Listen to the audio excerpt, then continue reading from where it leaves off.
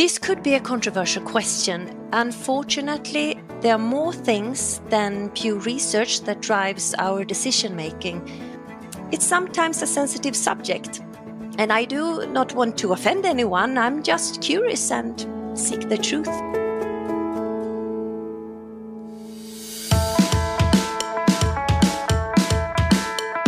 Hello, welcome back to Myelopathy Matters, the official podcast of the charity myelopathy.org. Where we talk all things degenerative cervical myelopathy from the perspective of the professionals, the researchers, and the people living with myelopathy.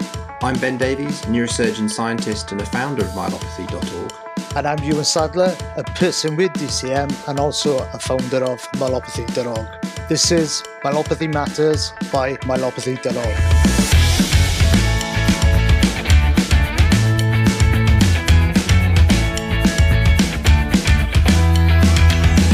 welcome back to the podcast. And today it's a big and contentious topic. Is the introduction of metal rods required after myelopathy surgery from the back of the neck? Amongst surgeons, this has been an intense and popular focus of debate, and it's raging on. You can see this by looking at country by country variation.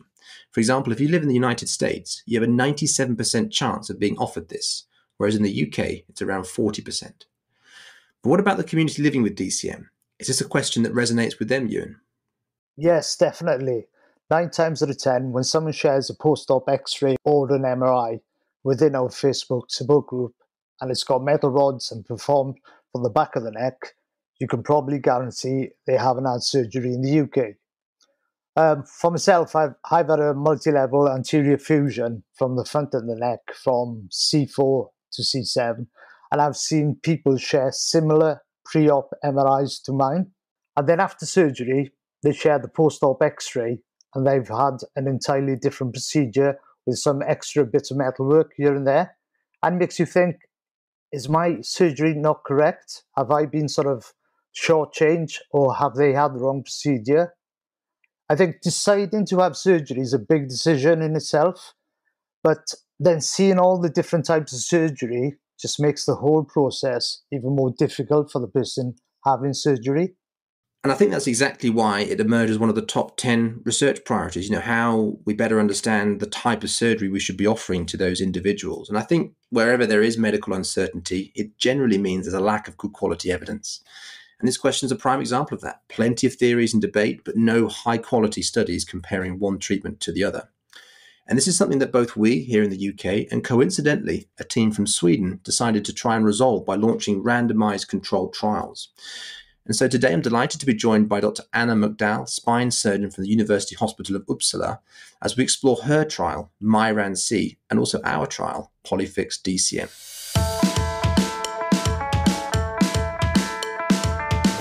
So I'm delighted to be joined today by Dr. Anna MacDowall, spine surgeon from the University Hospital of Uppsala, Sweden, and also the chief investigator of MyRanC. Welcome, Anna.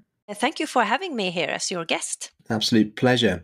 So we're talking about your your trial. Perhaps we could start by, you know, how did you come up with this? It was two things mostly. Um, first, my colleague in Uppsala, Peter Försth, he published his results in the New England Journal of Medicine 2016 about standalone laminectomy versus laminectomy plus fusion for spinal stenosis in the lumbar spine. And his reports um, resulted in a paradigm shift in Sweden with much less fusion surgeries.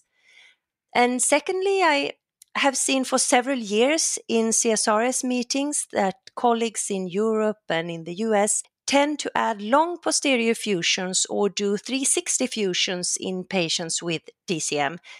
And then I looked within the Swedish borders and I discovered that 50% of Swedish uh, spine surgeons add a fusion to their laminectomy and 50% do not. In my experience, these patients are old and frail.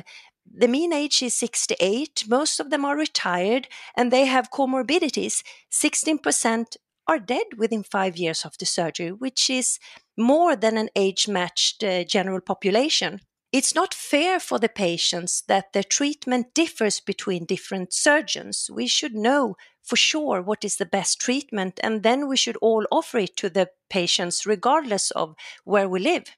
And what's been your experience of discussing this this problem with your colleagues? You know, what do you think the the, the strong rationale is for instrumentation or, or against it? It depends. Uh, some uh, clinics do anterior only in most cases, and some do posterior only, and some do 360. Some people fuse every patient, and others almost never fuse.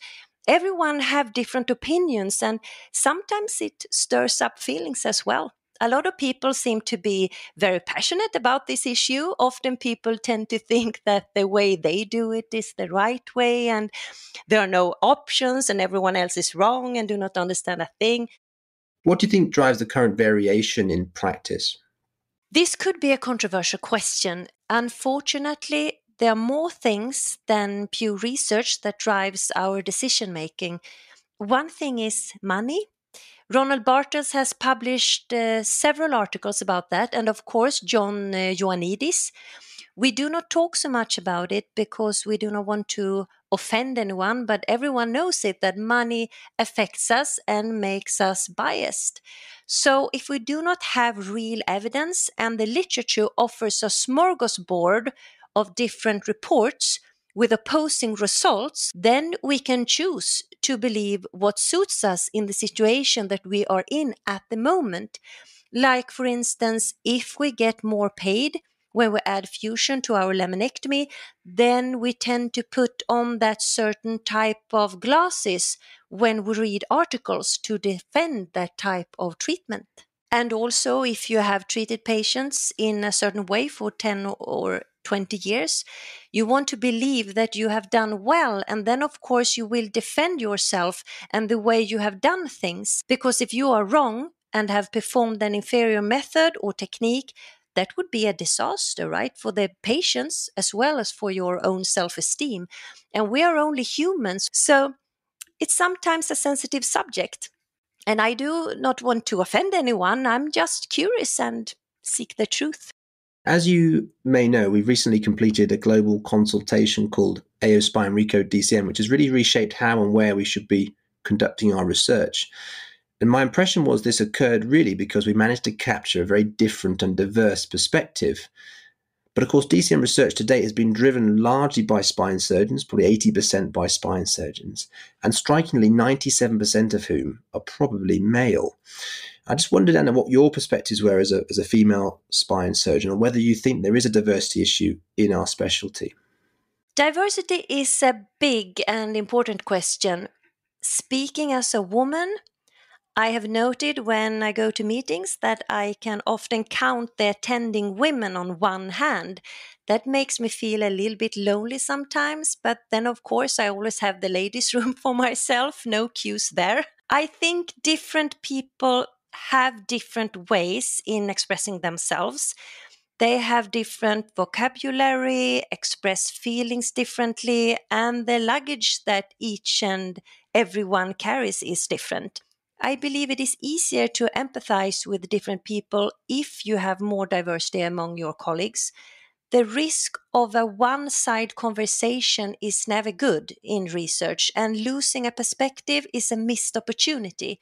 So, yes, it's important. And do you think that your male colleagues are aware that this is an issue? Do they buy into the fact that diversity is a problem and, and something that should be addressed? All my male colleagues, they are also individuals. And some of them are more enlightened than others. I mean, my perspective is it's it's a difficult concept to communicate, and particularly when our field is very one-sided already, it's um, I think it's a big challenge to change, but I certainly subscribe to very much so from my experiences so far. That's something that we need to we need to address. So we're talking about your your trial. You've had some efforts to make some some advances here because you recently published a very large analysis from your Swedish spine registry. Perhaps you could take us through the, the study and, and its findings. So we retrieved data on all registered patients with DCM in SweSpine. Half of them was treated with an anterior approach, so we removed those patients. Uh, the rest had a posterior approach. Half of the patients treated with a posterior approach had standalone laminectomy, and the other half had laminectomy plus fusion. So we compared the groups with propensity score matching, and the outcome was pretty much the same in both groups. Fusion was more expensive, though, due to implant costs. And one of the things that I thought was quite powerful about this method, and for people who aren't familiar, this is not sort of a randomized controlled trial in the sense that people have been allocated to to two different arms of a trial and followed up by a computer, but you've you've taken statistical approaches to try your best to even out the factors that may or may not influence the decision making to really try and match those groups to see if there is a difference. One thing is, uh, of course, the uh, alignment and instability that might have affected the surgeon's choice of treatment method. Um, and that was uh, a thing, of course, that we have to think about. So we retrieved all the preoperative MRI and radiographs to perform our measurements. And I actually I got inspired by the work uh, uh, of uh, Michael Fehlings' group with the propensity score matching using MRI measurements like the modified K-line interval and the spondylolisthesis slip in millimeters. But of course, you still feel there is a need to have that that full blown randomized controlled trial. Yes, it's quite um, a controversial uh, question. So perhaps we can turn our attention to the trial itself. What does the name stand for? Oh, it's myelopathy randomized controlled trial. So simple. but one of the points of difference, because I know, uh, as you'll be familiar with, we're doing something similar in the UK, slightly different, and we'll touch on that in this podcast episode slightly elsewhere. But one of the points of difference in your trial is that your technique for those who don't receive instrumentation is quite specific. Uh, what is that, and, and, why do you think that is important? Yes, that would be the muscle preserving technique uh, described by Professor Shiraishi. The spinous process is split using a high speed uh, drill and without uh, disturbing the bilateral deep extensor muscles, the spinous process is divided at its base. And the laminectomy is performed uh, with a width uh, not extending more than two millimeters outside the dural borders, and the facet joints are not exposed. And then finally, the split fragments of the spinous process are sutured uh, together so that the muscles are restored in their original place. When muscle preservation is performed, the sagittal balance has been observed to be maintained after surgery without progression of kyphosis. Um, to clear things, I am an orthopedic surgeon, so I have my basic education on the bone and joints, and I like muscles. We wouldn't dream about destroying the muscles surrounding the knee or shoulder or elbow. Why do we then destroy the muscles of the neck? It's a mystery to me. So, how are you going to decide whether this is beneficial or not? That was a hard uh, thing to decide the primary endpoint. First, we had the patient MJOA score. I started with translating the patient MJOA to Swedish together with a colleague, and we uh, changed the Swedish spine register so that the patients would have that uh, patient reported outcome measure sent to them at the follow ups instead of the European myelopathy score that we used to have as the myelopathy PROM. Then we discussed again in our RCT group that what we were interested in primarily was the different rate of reoperations between post laminectomy kyphosis and distal junction kyphosis. I mean, one reason for doing a fusion is because you fear the post laminectomy kyphosis that has been reported to be between 7 to 34% in different reports. But when you do fusion surgery, there is a risk of distal junction kyphosis of 24%. So you end up with a kyphosis either way, if you are fused or not. The focus on spine meetings is whether to end your fusion on C7, T1, or T2 instead of questioning the fusion itself. So we changed our primary outcome one year ago to reoperations. And yes, uh, of course, there is a huge uh, potential of bias when you use reoperations as outcome. I am very well aware of that.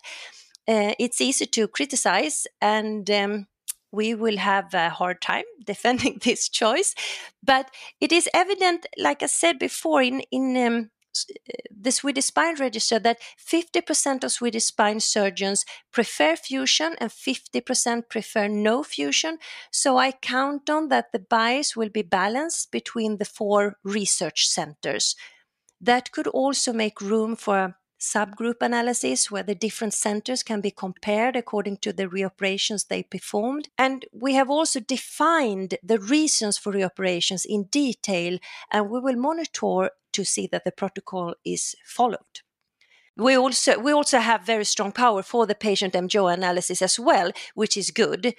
Um, but I just want to add that there are major problems with the MJO as well. For instance, it is very common with osteoarthritis in the hip and knee in the elderly. So when the patients answer questions about walking and climbing stairs and using a walking stick and so on, you don't know if it's due to the myelopathy or to osteoarthritis in their hip or knee.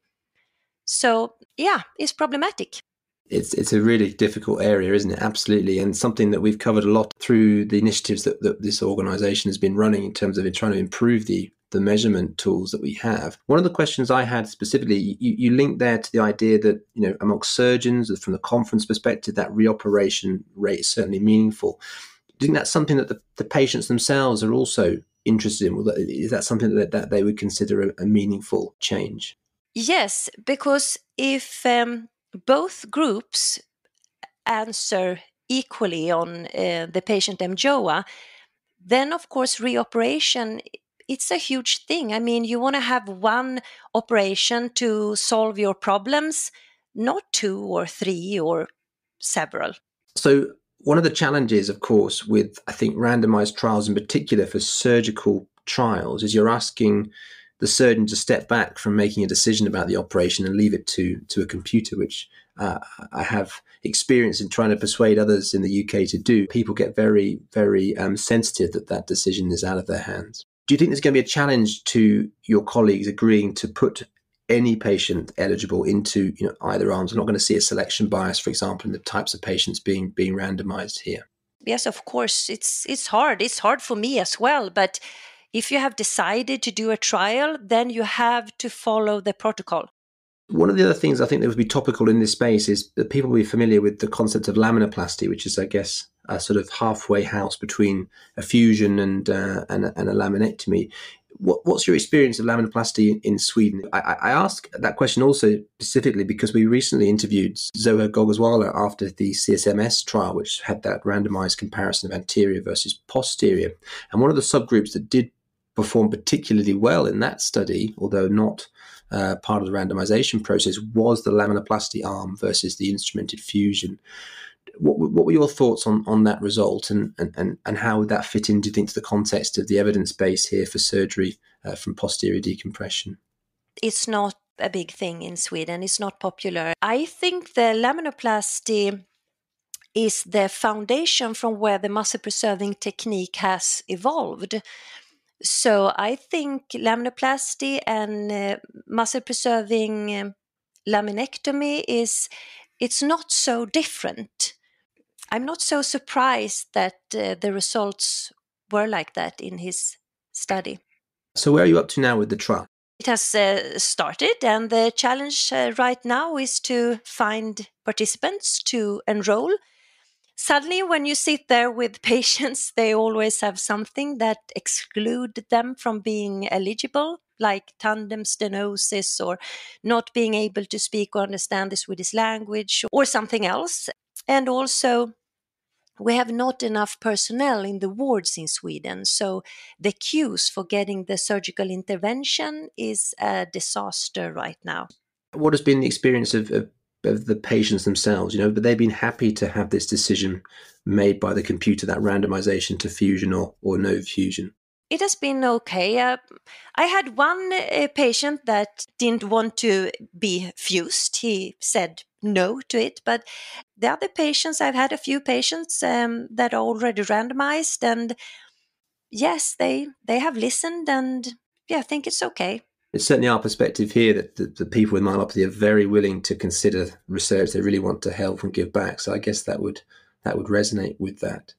And how long have you given yourself to get this trials done? I think at least three years. perhaps more. And and the, your primary endpoint is a five year follow up. Is that right? So it's going to be five years on top of that. Yes. So yeah, I'm gonna know what to do for a long time. Well, all good things have to take time, unfortunately. But I think it is a landmark piece of of research, and uh, it really does move, as you alluded to. You know, once you made that decision to operate, once you made that decision whether it's the front or the back, that next and final question is whether or not to to fuse and to stabilize. And I think that is a critical knowledge gap, which which we very much look forward to to being answered. From a UK perspective, there's certainly a perception that that it's not that routine stabilization required, but specifically certain scenarios require instrumentation, although there isn't really any consensus on what that is. If your trial indicates there is no routine value, how will you be able to consider the possibility that instrumentation is required just for a subgroup? Yeah, I agree. That is a problem. Like instability, for instance, the question is what is instability in the generated cervical spine and when do we need to fuse DCM patients due to concurrent instability? Instability is defined in the fractured spine and the rheumatic spine, but not in the generated spine. And there are no cutoff values to rely on when measuring flexion extension radiographs. So I, I, hope that some subgroup analysis or some receiver operating curve regarding the alignment parameters will give some cutoff values. And that is why research and constant re-evaluation is so important.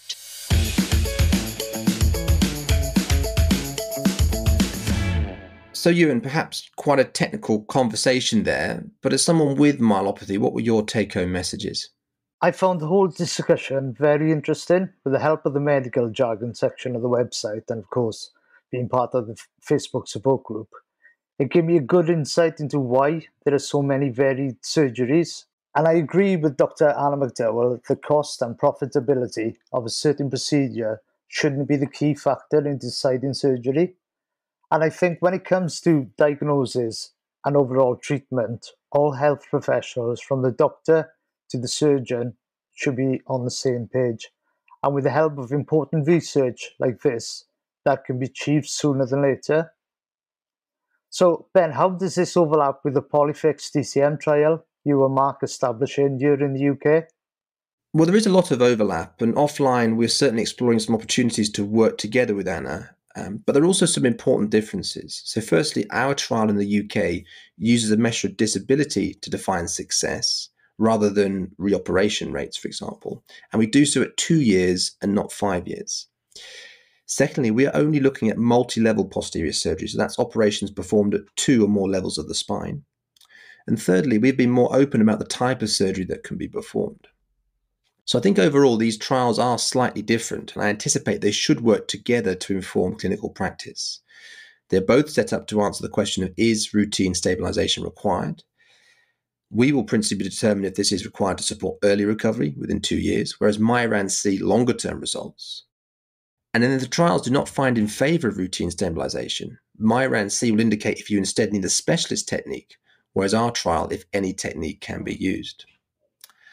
My hunch, however, which you can generally see when there is such variation in any form of clinical care, is that subgroups will be important, i.e., there are certain types of spinal change which benefit from a specific surgical technique. Unpicking this is much more difficult.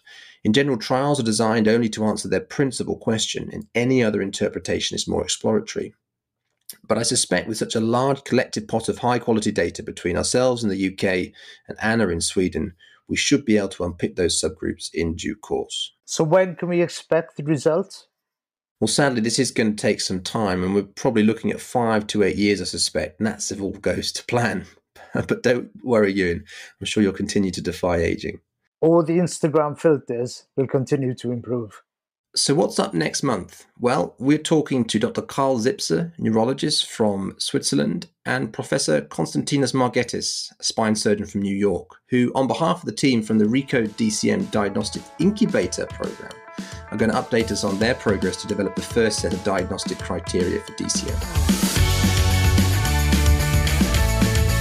Thanks very much to Anna MacDowall for joining us. This was Myelopathy Matters from myelopathy.org. The podcast was produced by Carl Homer from Cambridge TV. To keep up to date with the latest in the field of degenerative cervical myelopathy, why not subscribe on your favourite podcast app, where you'll also find all of our previous episodes. There's lots more information to be found at myelopathy.org, but if you've got a question about myelopathy or an experience to share, we'd love to hear it. Please do get in touch at ben at myelopathy.org. But until next time, goodbye.